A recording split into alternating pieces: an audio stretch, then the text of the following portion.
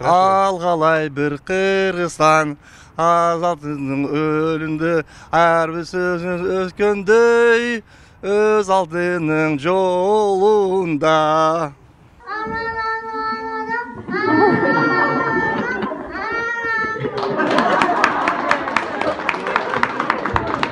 А, ма, ла, ла, ко, ко, молоко. макало, акыркы эки жылда парламент тарабынан жүз отуз алты мыйзам алты жүз он төрт токтом кабыл алынган. Ошондой эле жарандардын он беш миң үч жүз жетимиш эки кайрылуусу каралып шайлоочулар менен жыйырма тогуз миңден ашуун жолугушуулар өткөрүлгөн. Мына ушундай кыскача отчеттук маалыматын берип жогорку кеңештин депутаттары каникулга тарап кетишти эки айлык эс алуудан келген соң шайлоого жыйырма беш күн калганга чейин иштешет. Ошондо алтынчы чакырылыштын депутаттарынын иши жыйынтыкталды десе да болот. Бирок алар беш жыл бою иштеп элдин эсинде эмнеси менен калды деген суроо жаралат. Бизди кулакка тебип лапшаны илип кете турган акыбалдан кетиңиздер. Гомес секу сексуалу жогорку кеңеш чимкирикке айландык? Гомес э, ушу гомосекс жөнүндө жөнүндө кыргыз элинин элиталары отурабыз. Саясий элиталар отурат. Пандемия коронавируса. Бир адам бир адамга жуктурса биздин утушубуз ушул болот. Тилде сөөк жок бирок калтыда сактап айтыш керек да туугандар болду кайра кайра чыгып эле өзүңөрдүн эмеңерди качать ете бербегиле көп.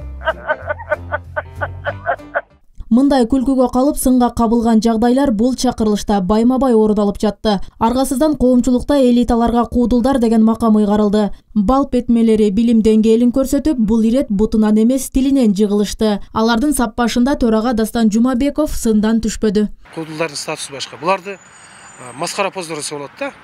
Маскарапоз деген сөз элге мындай бир маскара болгондор шылдың болгондор да. Албетте булар эме өзүнүн абирине койдук эгерде ошондой уят болгон спикер болобу депутаттар болобу аны моюнга алып же болбосо өздөрүнүн фракциясын эле булар четтетиш керек эле да. Жарандык активист гүлкакы мамасалиева беш жыл ичинде элдин кызыкчылыгын коргогон эки гана мыйзам долбоору кабыл алынган деп эсептейт. Алардын бири айым депутаттардын отуз пайыздык квотасы болсо экинчиси мүмкүнчүлүгү чектелгендердин укуктарын коргогон буунун конвенциясын ратификациялаганы. Ал эми калган мыйзам долбоорлор байманаптардын кызыкчылыгына иштеп элдин нааразычылыктарын жаратып келген. Аягында өлкө кыйын кырдаалда турганын капарларына албай каникулга тарап кетишкенин айтат. Кыргызстандын тарыхында эң эле алсыз жана өз ою жок парламент өз сөзүн сүйлөй албаган бирөө жетелеме парламент бул кала берет тарыхта. Парламент менен парламент менен өкмөт сыноодон өтө албай калды чоң сыноодон өтө албай калды башка чакырылыштагы депутаттарга салыштырмалуу билим деңгээлинен да айырма болгонун кошумчалайт. Ошондой эле эксперт катары мыйзам долбоорлорун кароодо комитеттерден өткөрүү шарттары бузулуп ыплас оюндарды байкаган. Зордукка салып эле өзүлөрүнүн кызыкчылыгын өткөзүп атпайбы бул деген чыккынчылык. Бул бул деген билбейм башка сөз менен кантип айтса болот бул деген өз элине жасап аткан чыккынчылык болуп эсептелет да. Карапайым жарандарга да суроо салдык көпчүлүк эми парламенттен жаңы жүздөрдү жана жаштарды көргүсү келет экен аткарылбаган убадалардан жок дегенде моралдык жоопкерчиликти сезип кайра шайлоого катышпаса дешет.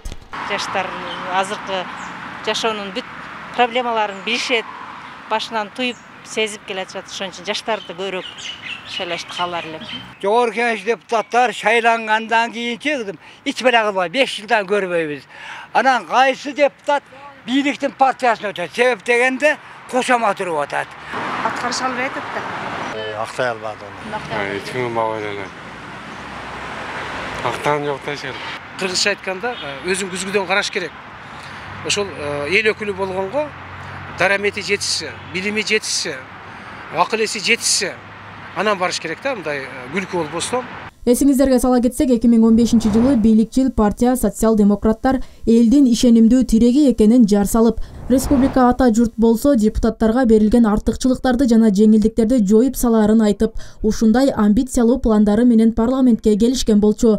Убакыт көрсөткөндөй эл өкүлдөрүнүн убадаларын уй жеп кетти роза акматжан кызы бактияр асылбек уулу жетинчи канал ош.